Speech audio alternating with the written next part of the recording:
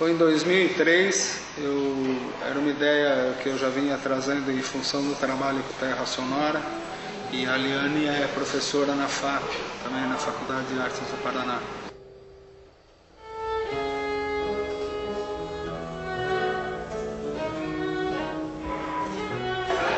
Ele apreciava o meu trabalho de transcrição fonética, a maneira como eu é, desenvolvia os temas, cantava os temas, e achou que eu poderia ser uma pessoa é, interessante e adequada para fazer a mesma coisa com os alunos, né? E aí eu dividi com ela essa ideia de montar um grupo de música étnica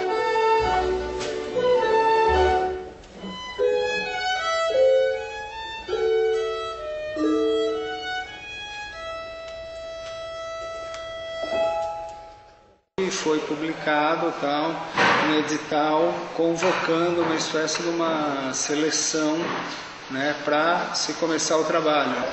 O Plínio geralmente faz uma chamada né, através de, de cartazes divulgando os instrumentos que ele, que ele quer e a quantidade de vozes que ele precisa.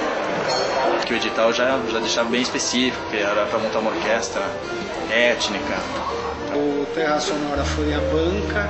Foi, foi legal porque o Terra Sonora é um grupo que sempre fez essa, essa pesquisa de música dos povos. Então a ideia de montar um grupo parecido com aquilo tentava todo mundo ali na fábrica. Nós fizemos uma banca examinadora imensa, né? Então foi determinado que os caras iam ter que fazer, né? Que era uma peça de livre escolha e uma peça como a gente chama de confronto, onde todos tocariam no mesmo tema e ouvimos pelo menos 60 pessoas nessa primeira vez aí. Né? É, é, qualquer um entraria ali ou teria condição. A ideia da seleção não era essa, que precisava partir de algum lugar. Eu quase não fiz a prova. Eu falei, cara, não é pra mim, sei lá, eu tava dando pra trás, assim, né? Falei, não, não vou, não vou, não vou poder fazer isso, né? Não vou me aceitar no baiaque, porque eu já era muito fã da Terra Sonora. Fui fazer o teste com, com violão.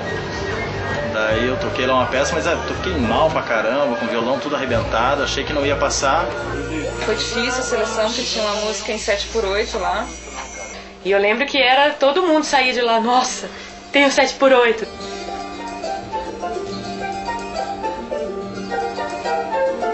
Escolhemos 10 cantores e 15 instrumentistas. E aí saiu no edital, tudo oficialzinho, entendeu? Tudo certinho, dia tal, reunião com os, com os aprovados, tá? 100%. Assim. E daí quando saiu o edital, assim, fiquei super feliz, né? Que tinha me passado. Pra mim era uma, nossa, uma honra imensa. Enfim, entrei. Tava todo mundo dentro, queria mais era um bando. E foi muito legal que apareceu gente de tudo que é canto e vários instrumentos. Cada um leva o que tem, entendeu? O cara toca cavaquinho e violão, leva os dois, toca bandolim, leva também. Enfim, pá, juntando, eu precisava de som, de timbre, um monte, um monte.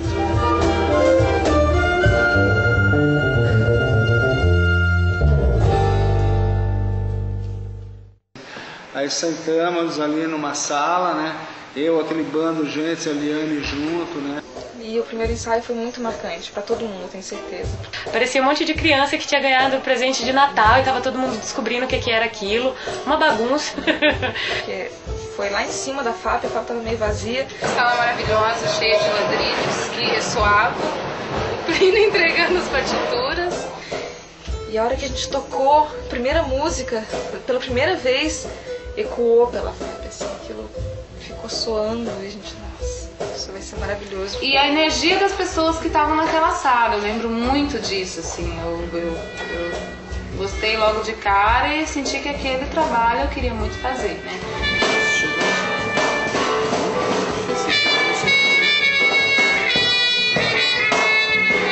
O ensaio já foi aquele contrato verbal de compromisso, né? O ensaio é dia tal, a tal hora.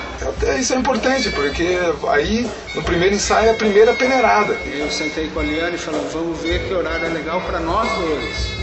E os caras que se encaixam na nossa ideia.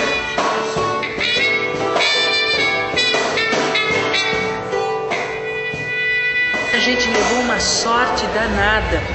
2003 era um ano assim muito fértil na TAP.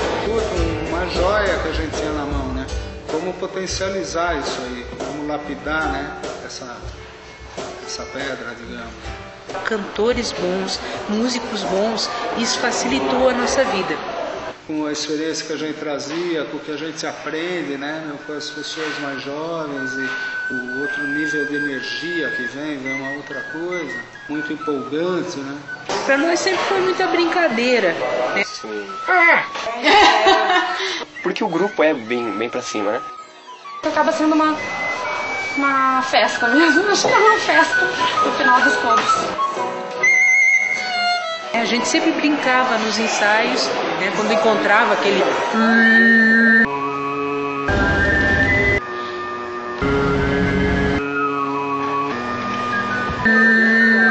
Isso aqui é uma brincadeira né, de fazer. Muito gostoso de trabalhar. Todo mundo que está em volta do Baiaca se diverte, né? É um grupo cantado. Todo mundo assim com seus grupos, o, o Baiaca é, incentivou mais ainda a união disso e do Baiaca nasceu vários grupos. Né? As pessoas se encontraram no Baiaca e a partir dali fizeram os outros grupos. Cumprindo muito a missão que eu sempre dei ao nome, né? O Baiaca, né? Quando a gente montou o grupo, eu falei, ó, oh, preciso de um nome. Aí a galera trouxe uma ideia, rapaz, ideias e tal. E eu vim com a ideia de Baiaca, que era um trabalho que eu tinha estudado bastante sobre os pigmeus na África Central. Os pigmeus é, têm várias comunidades. Eles se, se espalham por vários, por vários países da África Central, com muitos costumes em comum, né, com muitas coisas em comum entre eles. E quando eles se reúnem ou reúnem essas comunidades, se dá o nome de Baiaca, quer dizer, reunião, junção. E aqui no Baiaca é uma perfeita reunião de tribos diferentes, esquisitas, um povo bem estranho, que dá uma liga bacana.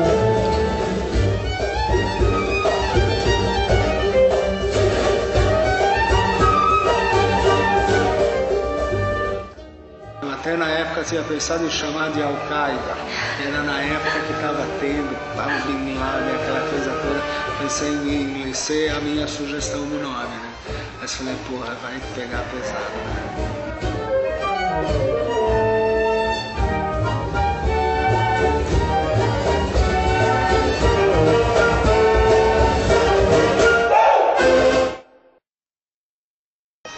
Mas ali que, que a gente se reuniu por uma coisa em comum, né?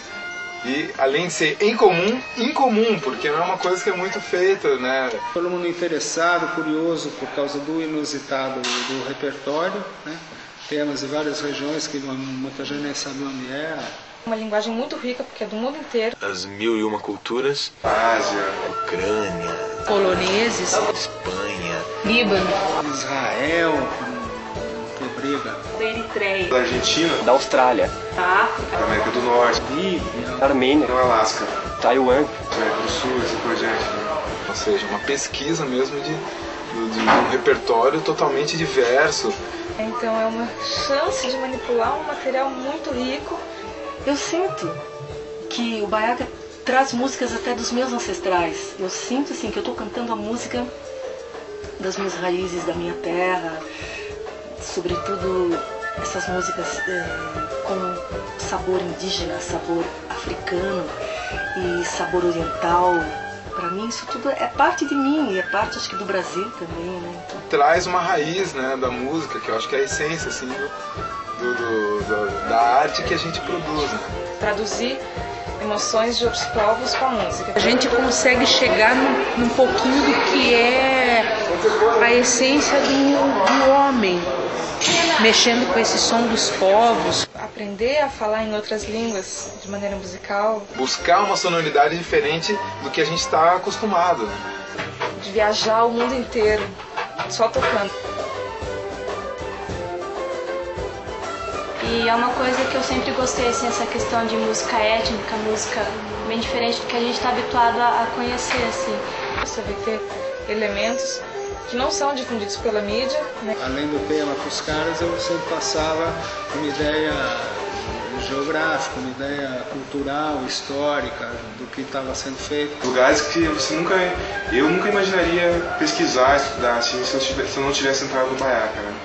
Geralmente nas minhas fontes né, de pesquisa eu tenho a informação de, do contexto em que o tema foi escrito, alguns são milenares, né, graças à tradição oral vigente né, em várias culturas né, do, do Oriente, assim como do Ocidente, chega até a gente uma série de coisas muito antigas. A gente não vai até o povoado para pesquisar, né? a gente pega a coisa aqui em Curitiba mesmo.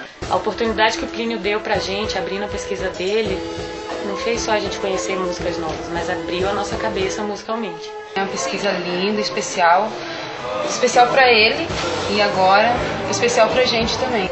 A instituição mãe de tudo isso aqui é o Plínio Silva. Né?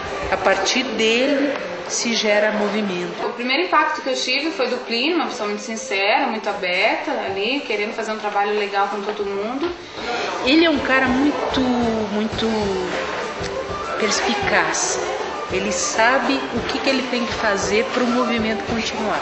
Ele sabe exatamente o que ele quer, que som que ele quer ouvir, e isso facilita a nossa vida de uma forma esplêndida. Assim.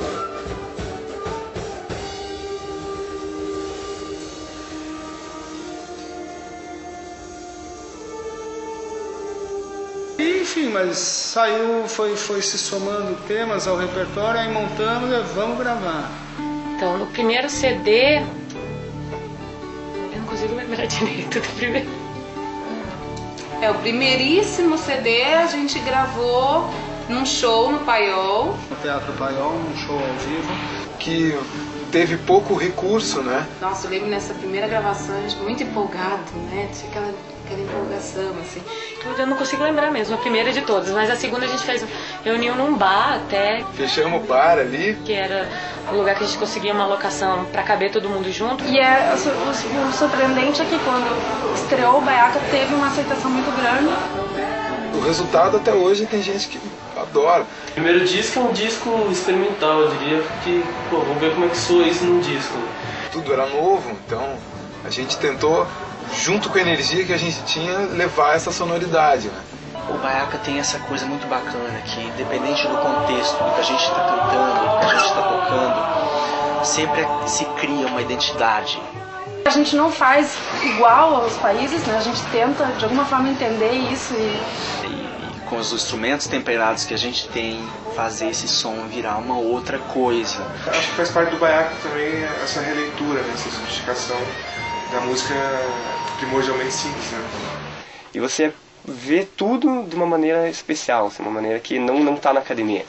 Aí o segundo disco já é um disco que eu gosto bastante. Ele já foi feito num outro estúdio, com um pouco mais de recursos, né? Numa dependência ali da, da Federal, de Curitiba. Assim, acho que a formação do segundo disco era uma formação incrível. É, os cantores todos muito bem preparados. O instrumental tava, já estava um nível, um nível acima. A gente já tinha uma noção melhor do que, que era tocar em conjunto, tocar com baiaca, a gente já tinha uma experiência maior e a gente já entendia mais coisas. Mas da mesma forma que o primeiro, ele foi independente, assim, a gente correr atrás, né? Foi uma verba que a gente foi adquirindo com o próprio trabalho do grupo, né? Depois a gente começou o processo de construção do, do disco 3, né? O terceiro disco tivemos o, o, apoio da lei de incentivo, então já foi gravado num estúdio mais apropriado. Um esquema de três dias, quatro dias.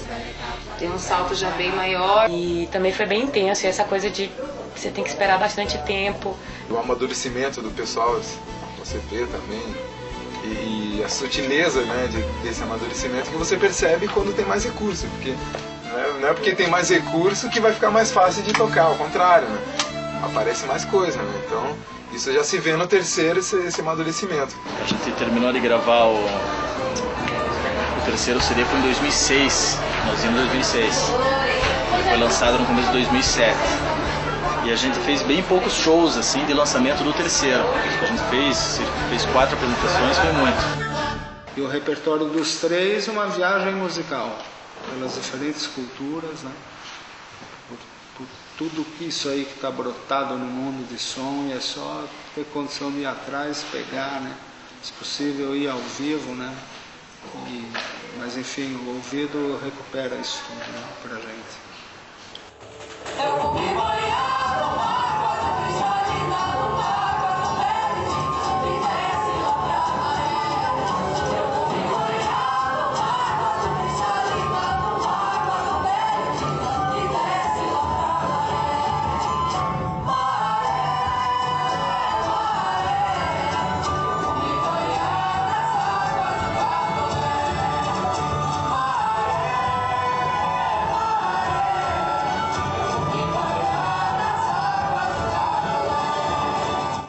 Baiaca tem seis anos, né? Eu participei de todo o Baiaca e de várias formações diferentes, algumas é, incríveis, outras um pouco desajeitadas, mas sempre todas foram muito sonoras. Assim.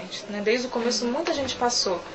Cada vez que juntava, agregava um grupo, era uma energia especial. Aí saía metade e, meu Deus, desabou o grupo. Aí entrava mais gente, energia nova, aquilo ficava conciso de novo e era bom de novo. Não era aquele baiaca do começo, nem o do meio, nem o do. Né?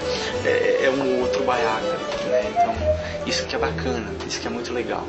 E eu acho que a unidade de todas elas é exatamente o repertório. né? É essa coisa étnica.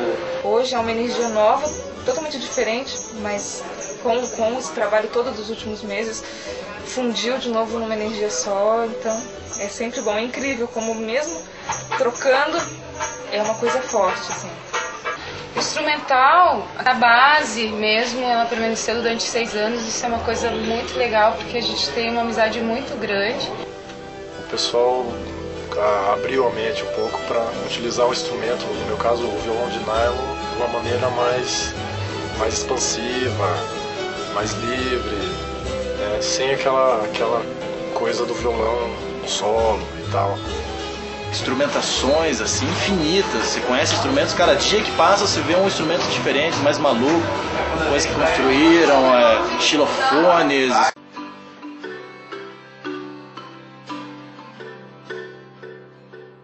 A própria torre que a gente construiu ali uma, uma criação do Acti, mas que a gente adaptou.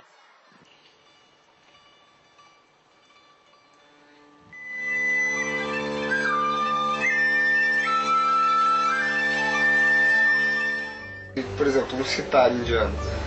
Eu já tinha visto e tal, mas nunca tinha pego, assim, nunca tinha visto um cara tocar do meu lado, assim, sabe? Esse tipo de coisa muda totalmente sua concepção do, do instrumento e da música em geral que a gente está fazendo mesmo, né? Mas é, é uma riqueza, né? Em vários sentidos, né? Tanto no, nos timbres, na sonoridade de grupo, essa mistura de flauta com violino, rabeca. A diversidade do- dos instrumentos que a gente tem aí da, da instrumentação acaba. A música acaba tendo uma roupagem mais sofisticada, né?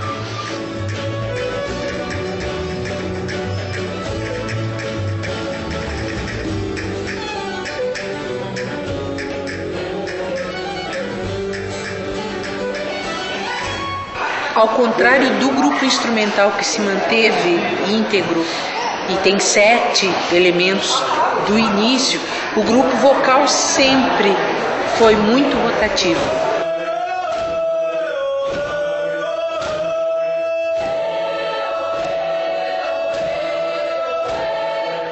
Antes de entrar no Baiaca eu já conhecia uma boa parte do pessoal. Alguns só de vista, só de noite, digamos assim, né? O pessoal que toca à noite e tudo mais. E eu sempre admirei muito o trabalho de todo mundo. Eu conheci alguns deles que antes do Baiaca cantavam de um jeito e depois cantavam de outro jeito, né? Então me instigou muito essa questão da exploração vocal e tal que eles que eles tinham né, na época e que depois eu entrei em contato e também vivenciei isso, né?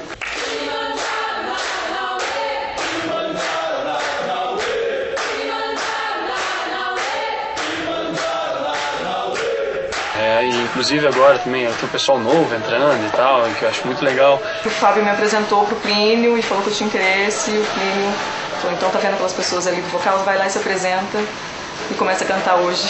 e não falta mais, nos ensaios, não falta nunca.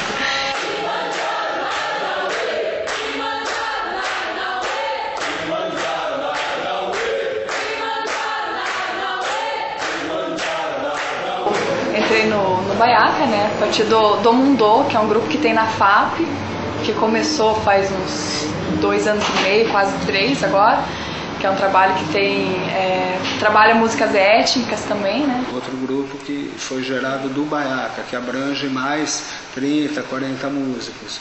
é um outro público, né? Eu conhecia a Liane já há bastante tempo. E quando eu entrei na FAP, é, eu fui convidado para cantar no Omundô e foi uma ponte depois para ela me convidar para cantar no Baiaca. E daí no começo deste ano, eles, o primo chegou no Omundô e disse que estava precisando de mais pessoas para fortalecer o Baiaca. Daí eu aceitei e estou desde o começo do ano cantando aqui no Baiaca.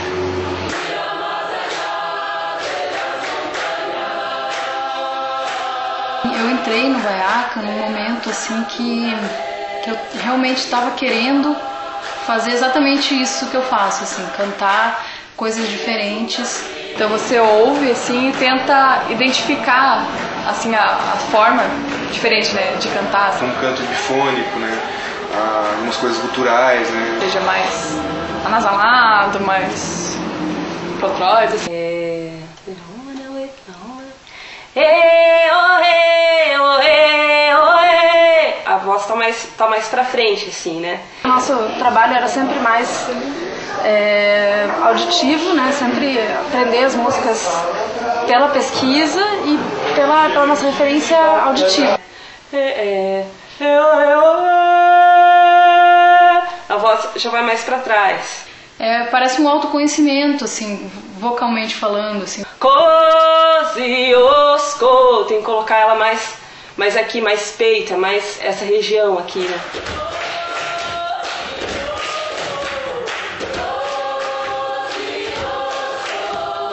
Essa consciência de entender a voz como corpo, e pra mim isso é super rico.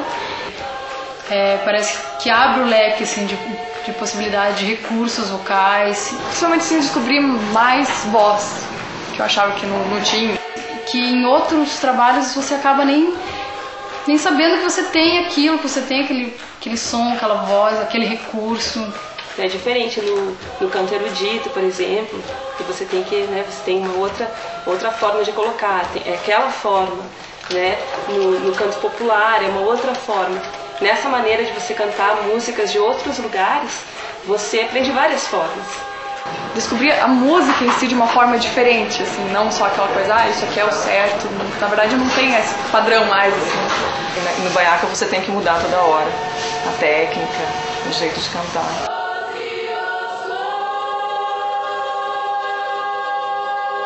Algo que me instigava a entrar no Baiacas era a, a, a possibilidade de estar entrando em contato com a Liane, né, e, e, ver como é que ela trabalhava e tal.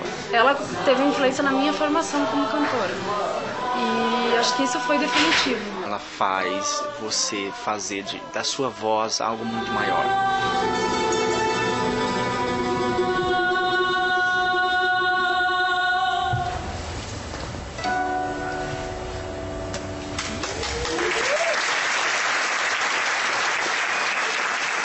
Técnica que a gente usa, né, que a Liane incentiva, é fazer transcrição fonética. Né?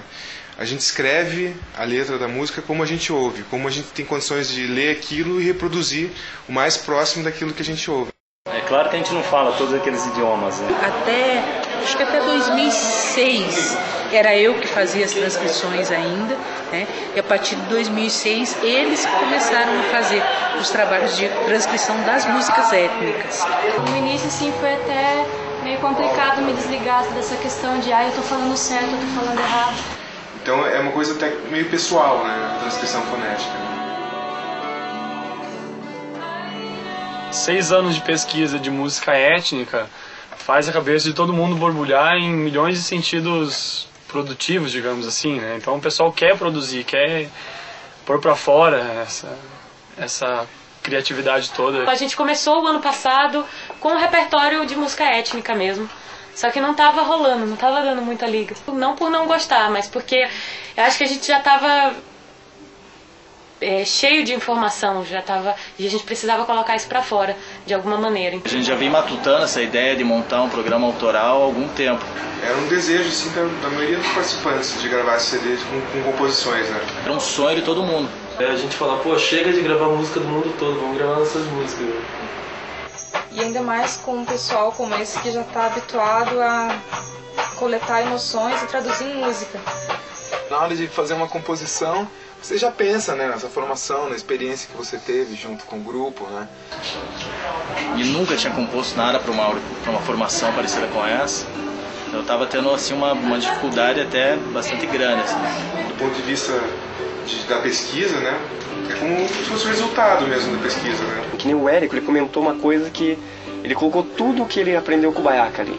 Então acordes com notas que não são comunentes do acorde. Então ele chegou com a partitura e o pessoal falou, mas essa nota aqui com esse acorde, como é que é isso? Porque ele aprendeu no baiaca que é uma maneira diferente de pensar. Que é a prova de que realmente isso transformou nossas consciências, tanto musicais quanto pessoais. Cada música não traz a emoção de um povo, mas traz a emoção de pessoal de cada um. Muita textura sonora também, que a gente colocou na, nas nossas composições, com certeza influenciado pelo que a gente ouviu né, durante o, os primeiros anos de Baiaca, assim, da pesquisa do Plínio.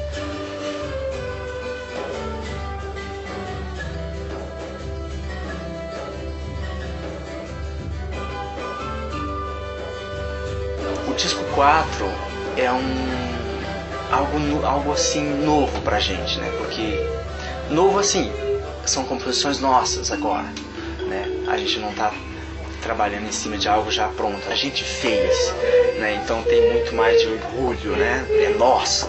Bom, no começo foi um mistério. Porque as pessoas começaram a trazer as composições, muitas coisas legais, diferentes, até dizem que sobrou um monte de música. Era um trabalho, antes era sempre de ouvir, ah, então você tem que imitar aquilo, né?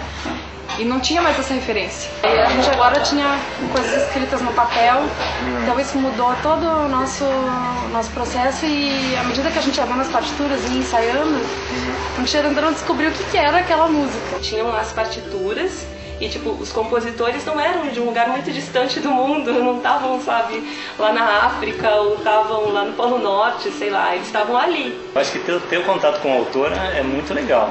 Então é, é, é, é diferente quando o compositor da música que você, que você vai cantar, que você vai interpretar, tá ali, né? Ele tá falando, não, mas é porque imagino isso mais assim, mais assado. A responsabilidade é bem maior É, agora. é. Porque você tá cantando ali e os caras que fizeram É, tudo do teu tá do lado. lado ali, né? É. Então é bem difícil, no começo foi bem difícil, assim, você tentar chegar no que ele tá querendo, assim, sabe? Eu, eu tinha uma preocupação É. muito grande com isso. Eu fiz a melodia, a harmonia, mas eu deixei livre para eles fazerem uma, uma- um pouquinho deles na música. E até isso ajudou, a minha música ficou até mais forte porque tem um pouquinho deles também. Pra mim, cada tema é como se fosse meu um pouco. É, a música pensando no Baiaca e o resultado final dela foi mais do que o esperado, porque eu, eu consegui entender ela mesmo depois que cada um tava tocando a sua parte e hum, gostei bastante. Porque cada um traz elementos novos pra música. É, nos ensaios, lógico, como é um laboratório, a gente foi experimentando algumas coisas, ver o que dava certo, o que não dava certo. Até hoje, já, de ontem para hoje, a gente sempre muda alguma coisinha. né? Então, de início, a gente começou ensaiando separadamente. A parte vocal, que a Liane coordena, e a parte instrumental com o Plínio. A gente ensaiava separado, até a gente teve muitas coisas que nós tivemos que corrigir depois quando nós começamos a ensaiar junto com os músicos. Falar, não, não é, não é bem isso que eu estava querendo, é mais por aqui, né?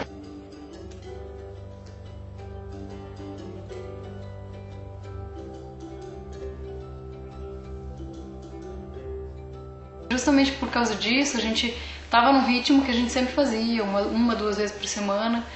E daí eu acho que quando, quando a gente meio percebeu essa dificuldade, a gente quis fazer mais ensaios para poder compensar todo aquele tempo que a gente estava meio. A gente sentiu uma dificuldade falando mais no vocal, assim, né? É, e não sabia exatamente por quê, porque daí a gente até que um dia a gente sentou e conversou ah, pela falta de referência e tal. E daí quando a gente descobriu isso, a gente começou a ensaiar mais para compensar o, o resto do, do tempo, assim.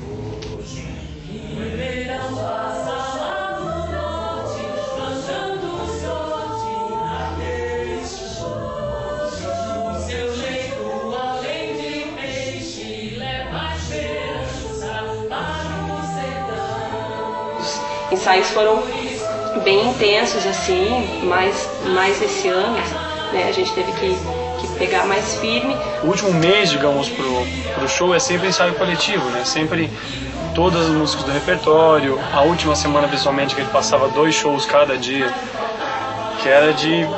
Posso falar palavrão? É de cair o cu da bunda, né? Foi um esforço geral, assim. O Plínio é bastante exigente, então ele queria, nós queríamos todos o melhor possível, né? Foi cansativo, foi repetitivo. Demora um pouco, parece que não vai dar. O processo é sempre assim, demorar. Parece que não vai chegar lá. É um, é um esforço assim que tem que ser feito e vale a pena, porque senão não, não sai mesmo. Foi muito bom, muito bom. Assim. Acho que uma das melhores experiências como músico que eu tive até hoje.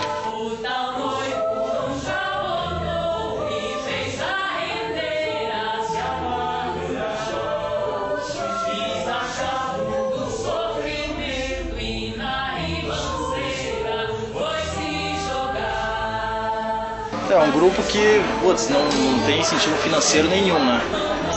Mas é um trabalho que enriquece muito a linguagem musical, enriquece muito o convívio social, enriquece muito o aprendizado de lidar com um grupo, de aprender a, a trabalhar em grupo. Então, é muito mais que dinheiro. Então isso acho que é um, um lance positivo, porque quem tá aqui é porque tá muito afim de estar mesmo, porque os, a carga horária de ensaios é grande, demanda disciplina, organização, responsabilidade. E sem grana, é, você não pega um outro grupo na cidade que funcione assim, sem pelo menos uma, uma verba. Um grupo desse porte, com tanta gente, né? tem 25 pessoas, mais a direção musical, a direção vocal. Então acho que o que move é a vontade de estar fazendo mesmo. ensaio era um momento assim que eu olhava, tipo, e tava todo mundo ali, sabe, fazendo a mesma coisa, assim. Então às vezes eu parava, ficava olhando, assim, sabe, parecia que congelava aquele momento. Daí eu via aquelas pessoas todas ali reunidas em prol de alguma coisa, a gente fazendo música, né? Então isso pra mim era, era, é, era esse sentido, assim, dessa reunião em prol da música.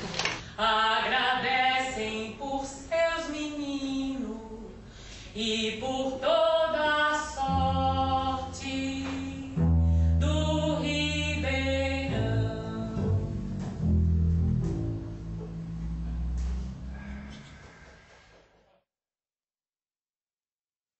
esse processo de, de você sentir mesmo o grupo, assim, começou semana passada com a bateria de ensaios todos os dias.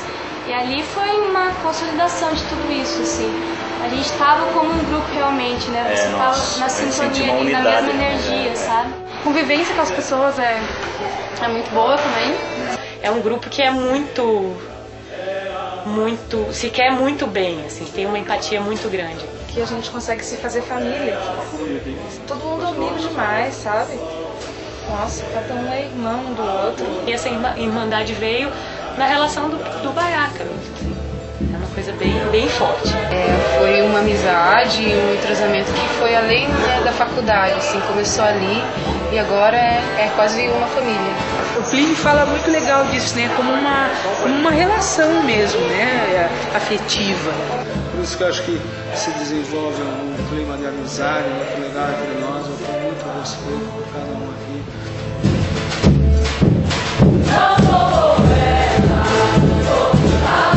Eu acho que é muito legal essa troca que a gente tem assim também, né? De estar um sentindo o outro, um é, a- respeitando o outro, colhendo o que o outro tem de bom e se doando também nos momentos que é necessário. Principalmente quando a gente está no palco, tem uma energia que é muito forte. E vem dessa irmandade, assim, eu acho que a gente se encontrou muito.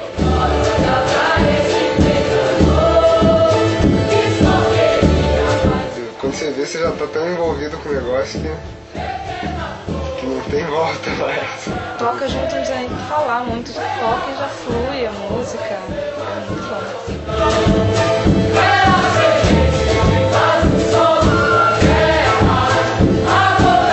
É um grupo estimulante, Baiaca, assim.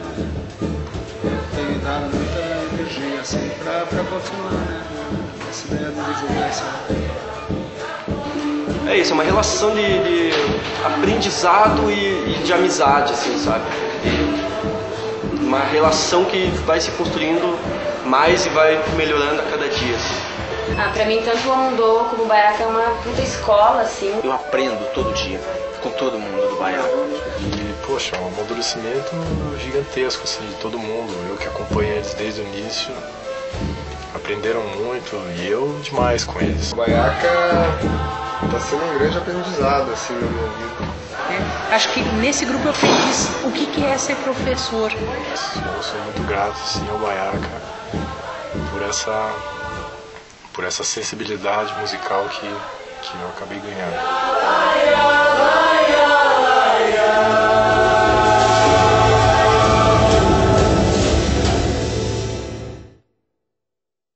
Eu já tenho uma experiência grande em lidar com grupo, eu já venho de outras experiências também lidando muito com, com as pessoas e, seus egos, né? Cantor é um, é um cara esquisito, né? Ele deixa o ego ficar maior do que a estrutura dele como pessoa, né? Então o, o ego toma conta daquela pessoa e você não sabe onde ele está. Então foi um trabalho bem intenso, assim, de botar as pessoas nas suas casinhas, assim. O pessoal responde bem aos chamados, importante, você conseguir Baiaca uma, um nível legal e uma, e uma atenção legal nesse sentido, sabe? A coisa, porra, começa a fraquejar um pouquinho, você pá, dá uma chamada, a galera vem. Eu acho engraçado mais é quando ele dá bronca, né? Agir com sinceridade, sabe? Com franqueza, com não ter que ficar medindo palavras. Porque é engraçado. Aí a galera toda fica quieta. Porra, que a pessoa veja naquilo, porra, outro. Nada além de vontade que o cara reme junto.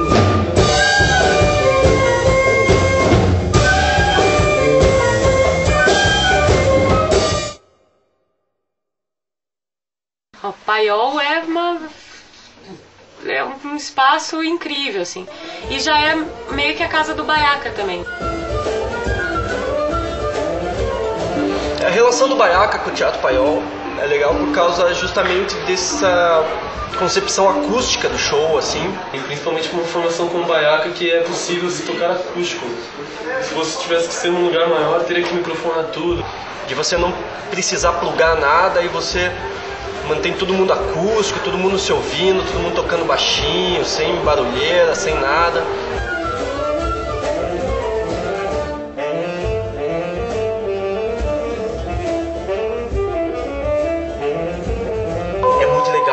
Você manipula o som, então se você projeta para cima, o som vai, chega e volta para você, né? Pra plateia, ele fica mais suave, né? Então é muito bacana trabalhar com isso também, né? direto, né? Não tem uma, nenhuma outra coisa para atravessar. O som vai direto do instrumento pro público, assim. Me agradou, assim, essa questão de estar ali no centro, estar todo mundo em volta. Acho que se sente meio que acolhido, assim, né?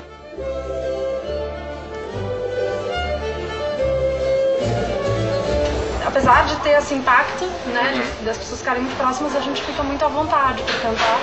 O Paiol ele dá um clima intimista assim pro músico, né? É bem gostoso o clima, assim. E a gente sente muita vibração, né? Nossa, é fantástico. Chega a ser físico o negócio. Né? O músico tá tocando e ao mesmo tempo ele tá bem perto da banda e ao mesmo tempo tá bem perto do público e você consegue enxergar a face das pessoas, consegue enxergar a, atenção delas, consegue captar bem a emoção das pessoas que estão assistindo o show assim.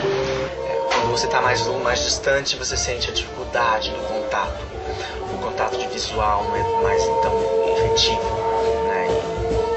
E, a voz também, né? Então você tem que projetar muito mais e tal. O Paiol é um lugar que, das acústicas de Curitiba, eu diria que é a mais encantadora. né? Tanto é que muita gente famosa já foi tocar lá. né? É muito bacana porque o Paiol ele é casa de, de, de grandes artistas, de nomes já consagrados da música brasileira e também é espaço para quem está começando, assim. E ele, ele une, ele funde essas coisas lá.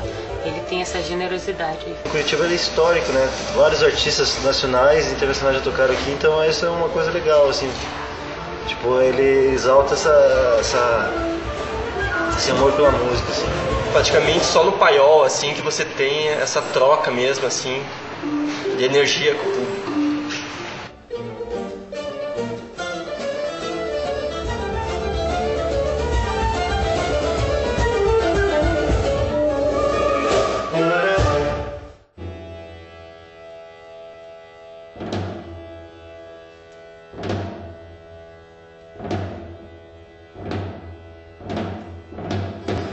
Mim tem cheiro de, de terra, tem gosto de canela é, e tem toda um, uma nobreza de porcelana chinesa, digamos. Então pra mim é um prazer atuar no Baiaca. Baiaca pra mim representa a raiz, força. A humanidade. E povo. Uma viagem pelo mundo. Essência humana. É unidade. O Baiaque representa pra mim encontro. Foi uma grande reunião, uma grande reunião de pessoas, de músicos em prol da música.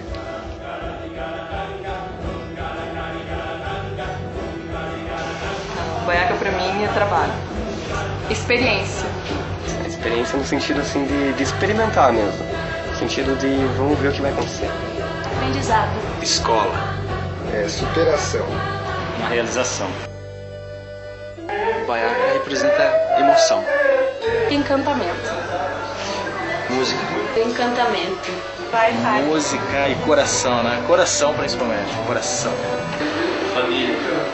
O que mais que uma família? Prazer.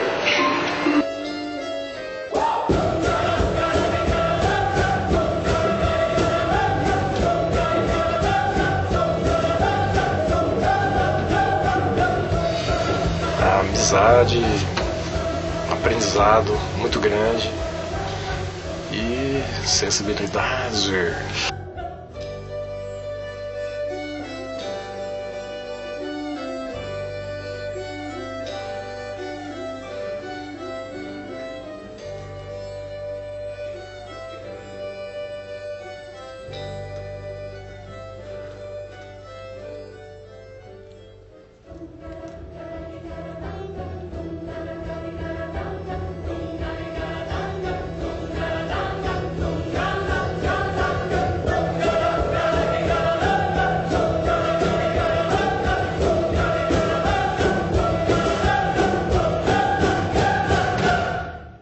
Fenomenal.